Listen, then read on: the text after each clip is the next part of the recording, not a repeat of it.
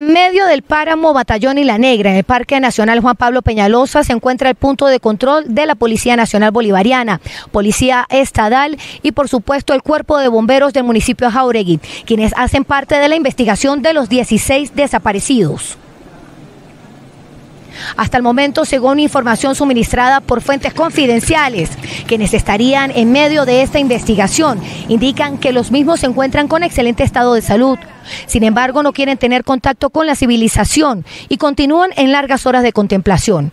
La búsqueda continúa debido a que hay menores de edad quienes son solicitados por sus padres, quienes interpusieron la denuncia ante el Ministerio Público. En medio de estas montañas fueron hallados algunos objetos que se presume serían de las personas que están desaparecidas. Estos objetos fueron incinerados. Entre ellos se encontraban maquillaje, algún tipo de vestimenta y también objetos tecnológicos.